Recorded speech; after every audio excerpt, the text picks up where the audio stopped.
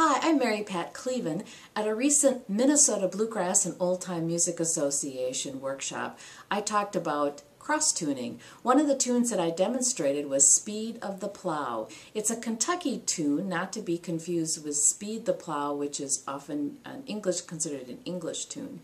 And it is done with cross tuning. G D G D. Now I know that often AEAE is the preferred uh, cross tuning, but I like to tune my strings down rather than up. Little less chance for a disaster. Here's Speed the Plow. I'm going to play it fast so that you get an idea of how the tune goes, and then I'm going to play it slowly in case you'd like to learn it yourself.